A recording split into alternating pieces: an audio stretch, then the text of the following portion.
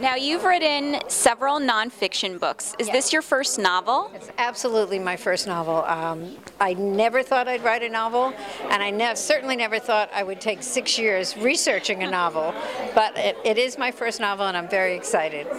What made you decide to write a novel? Well, it all began, my husband and I decided we'd take a road trip. But unlike normal people that go to Orlando or go to the Grand Canyon, our road trip was in Turkey. So um, we were lucky enough, or unlucky enough, in Ephesus, our guide was a college professor who wanted to take us to all the historic sites. I wanted to know where she got the knockoff Chanel purse, but we ended up with going to the house of the Virgin Mary. Well, I had no idea that the Virgin Mary ever lived in Turkey. So it became a quest, and then I wanted to know how much more that I, who grew up as a Christian, didn't know about, and what other relics were there. And that led me on this six year hunt through five countries, three continents. I climbed mountains, I stayed with monks, I stayed with a Hermetic nun, and I traveled um, through Italy with an exorcist from the Vatican. Oh wow! What what was that like? Did you see them perform any exorcisms? No, no. He just he he became my guide to finding this relic that I was looking for, which is the Veil of Veronica, which actually does exist. And when I showed him the images that we took of the veil, because the monks brought it right out for us with no problem. When I showed him the images of the veil, he flat away fainted on the altar. And all I'm thinking to myself is, okay, this is going to turn into Weekend at Bernie's. I've got an 80 year old dead guy that I've got to drive back to Rome. So, what's a person like me doing in a place like this? I don't know. Now, the main character in your book is a journalist. Yes. How? What other similarities do you have with her? Um, she has my voice. Um, she has better legs than me.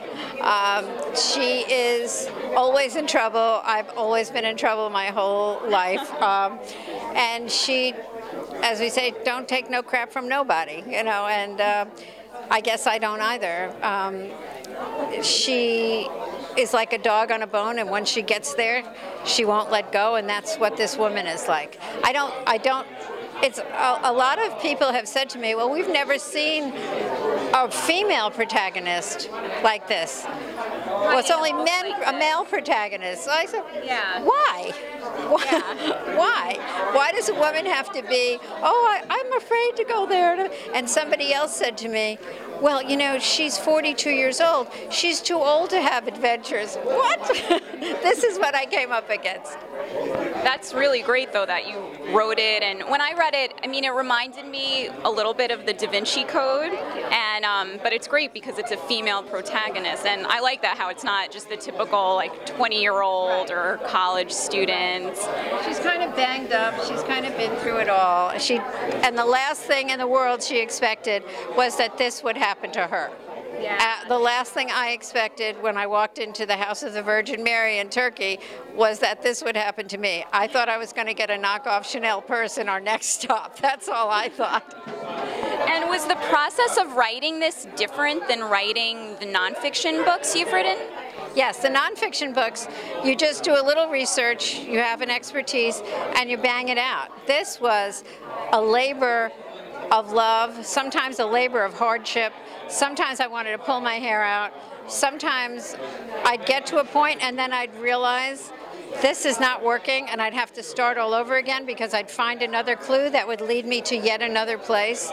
So it was a very, very strenuous but incredibly exhilarating experience for a journalist. I mean, Yeah. it was the ultimate, unless I was going to a war zone, I can't imagine anything more exciting than doing this. Because you, from all your research, you you lived the book in a, the a book bit as well. Every single place mentioned in that book, whether it's the Amazon, whether it's the top of a mountain, whether it's a monastery, whether it's a cave, whatever it is, I did it.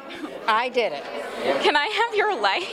That sounds like so much. No, what, what's next for you? Do you plan to write a sequel? Do you want to write some more novels? I would love to write another one. I'm waiting for another bolt of lightning. Uh, I, I, I don't know if it's going to happen to me. I hope it's going to happen to me because from what I'm hearing, people like the character and they want to see her to have more adventures. So I'm waiting for the next mystery to hit me. And I think I think I would like to stick to this genre of, of hidden religious mysteries that we don't know about because I think it's incredibly interesting.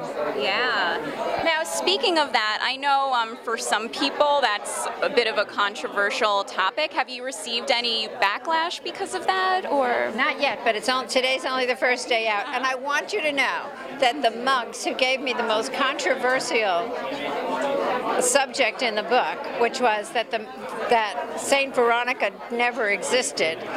Uh, I got f- friended on Facebook by one of them yesterday. Hi, I'm Linda Stasi. This is my book, my first novel, The Sixth Station. It's available at Amazon, Barnes & Noble, your local bookstore, and I hope it doesn't take you six years to read it. It took me six years to make it. Thank you.